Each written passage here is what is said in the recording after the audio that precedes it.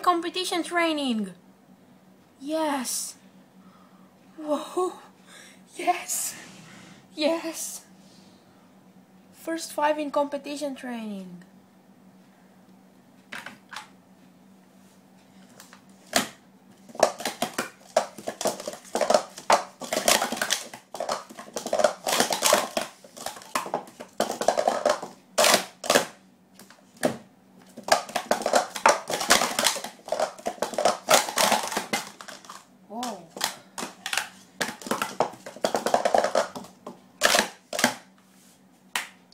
Yes.